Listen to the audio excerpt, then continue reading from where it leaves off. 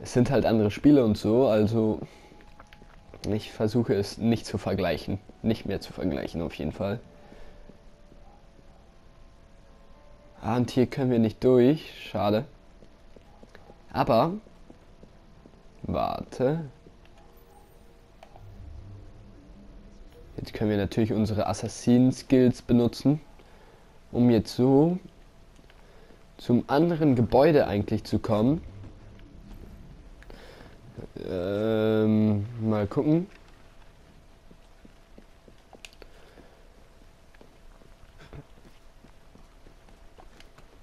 Okay, und dann können wir von hier aus hier hin.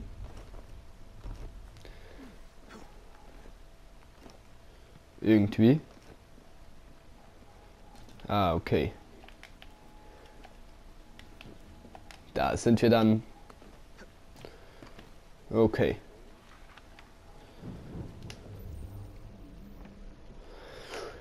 Also wir sind jetzt äh, drin. Ich weiß gar nicht, wo wir sind. Wir öffnen die Tour auf jeden Fall. Ähm, Chemikalien. Ich weiß nicht, ob wir da jetzt momentan etwas mit sind, aber ein geschenktes Gold schaut man ja nicht ins Maul. Sagt man ja bekanntlich. Also dürfen wir hier jetzt nicht überklagen. Weil es wurde ja geschenkt. Also dürfen wir da nichts drüber sagen. Und Geschenke nehmen wir gerne an.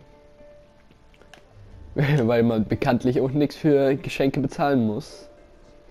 Und jetzt sind wir wieder hier. Und hier hört man Klavier, richtig cool.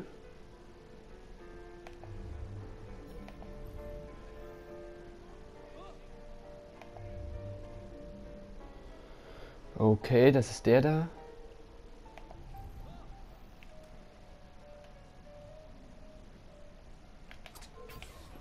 Okay.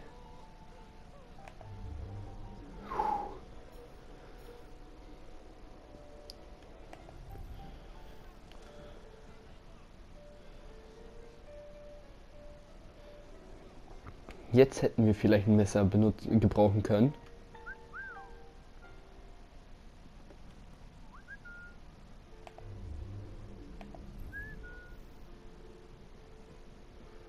Okay, also wir machen es anders.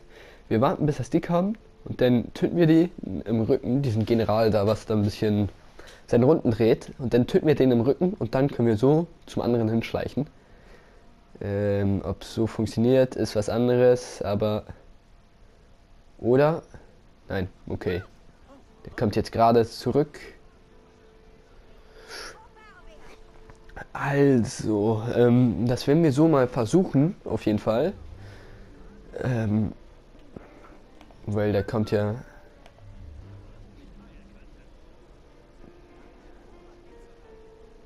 Ähm, da gibt es auch etwas, was wir vielleicht sehen müssen, aber das können wir nur immer gleich machen, okay, der hat uns bemerkt.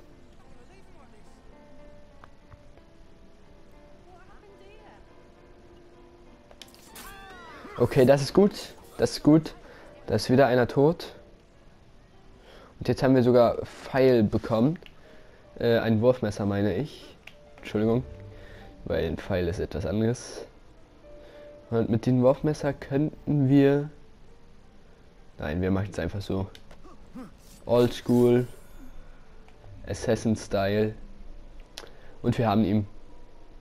Hier liegt etwas, aber ich würde nicht wissen, was es ist. Es ist eine Kiste, glaube ich. Und wir haben hier ja einen Schluss. Hä, wie kommt man denn da zur Kiste hin? Ah ja, so. Fast vergessen, dass das ging, dass man so unter Sachen durchgehen konnte. Ach ja, und dann konnte man auch so, ah, dann hätte ich nicht so gehen müssen. Hm. Das war dumm.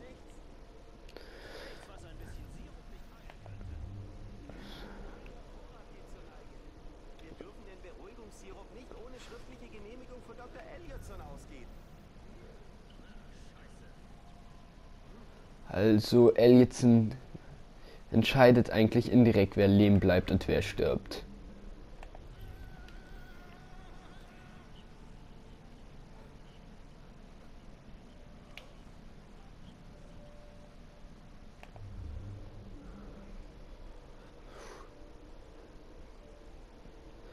Okay, das hier ist die Elektro-Dings-Sitzung.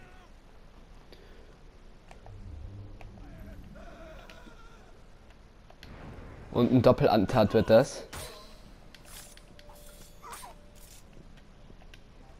Okay, wir haben schon mal die Sitzung hier gestoppt. So wie es uns gefragt wurde. Der lebt jetzt also noch. Zum Glück. Ups, das waren zwei gleichzeitig. Das kann suboptimal enden. Oh, ja. Okay, das könnte, das hätte suboptimal enden können. Ähm, das ist der junge Arzt, schaltet einzigartiges, einzige, einzigartiges Attentat frei. Oh, das hätte, ja, das hätte so suboptimal enden können. Ähm, Nochmal gucken, was da stand, weil, okay.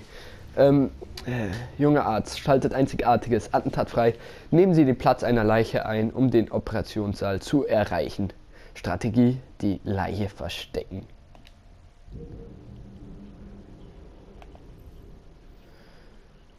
Okay, und wie kommen wir da nach unten?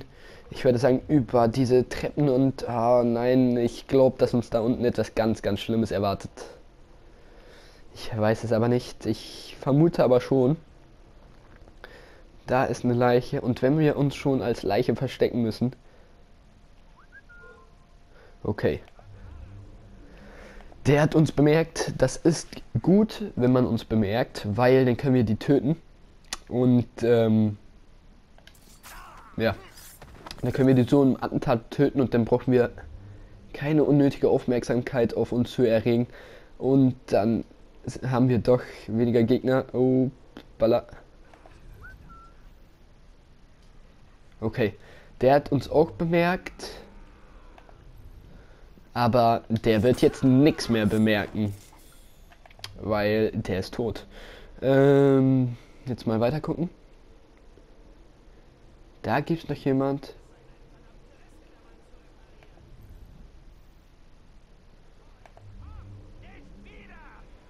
Also hier ist noch jemand. Ähm, ich weiß nicht, ob wir den töten müssen. Aber vielleicht besser schon.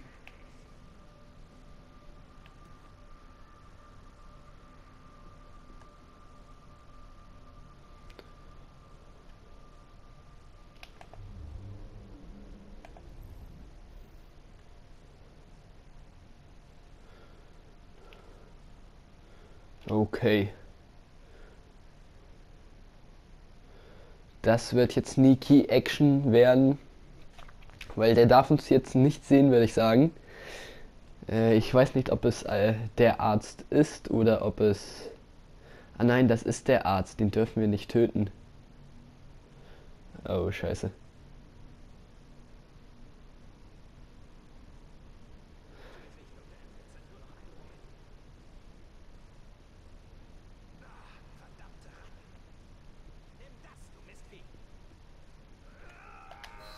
Okay. Wir verstecken uns bei denen.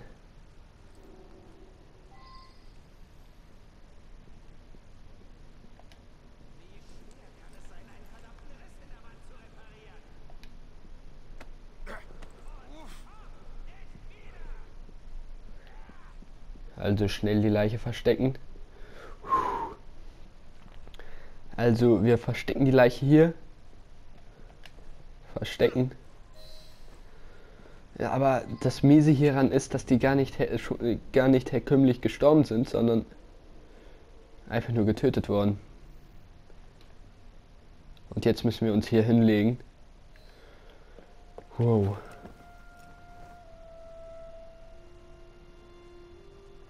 Oh, das ist knapp gewesen, glaube ich. Und der Arzt wird uns jetzt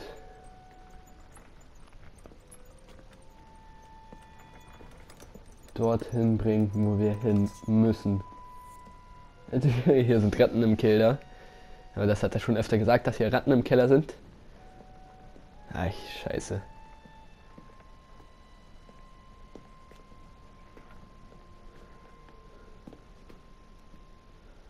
Bitte schön, Doktor.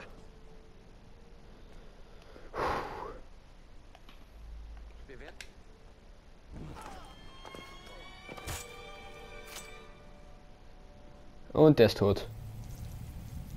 Vielleicht hätten wir uns die Konferenz anhören können. Endlich endet es. Und doch kann ich nur an einen Beginn denken. Ein besseres Morgen. Geschmiedet mit dem Blut von Visionären. Ich sehe nur das Blut eines Geisteskranken. Glaubst du, einen alten Mann zu töten, hält den großen Architekten der Menschheit auf? Crawford Starrick hat glorreiche Pläne für die Menschheit. Pläne sind dazu da, vereitelt zu werden. Du bist ein Kind. Ein Kind, das glaubt, es könnte das Leid der Welt mit dem Streich einer Klinge beenden. Hast du je über die Konsequenzen deiner Taten nachgedacht, Jacob Fry? Oder hat dich dein Vater gar nichts gelehrt?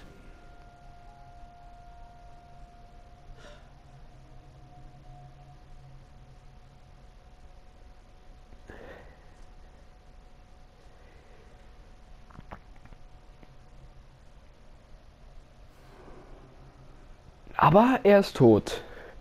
Das ist das Gute. Aber jeder sagt dasselbe, wenn man einen einzigen tötet, kann man so die Pläne nie verändern. Aber so wie wir das machen, wenn wir jeden einzelnen töten, was dahinter sitzt,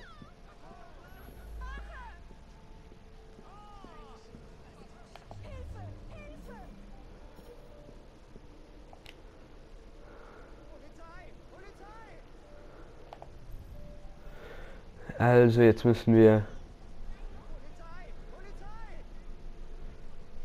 Jetzt müssen wir hier wegkommen.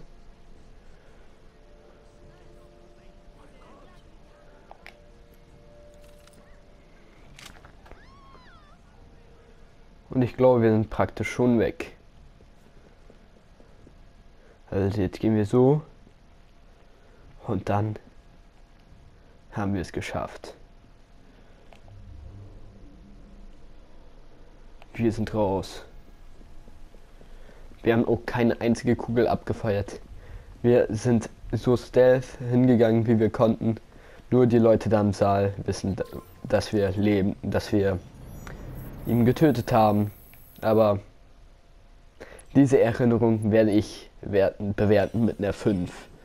Weil solche geile Missionen, die bewerte ich. Andere Missionen sind auch geil, aber die bewerte ich nicht. Also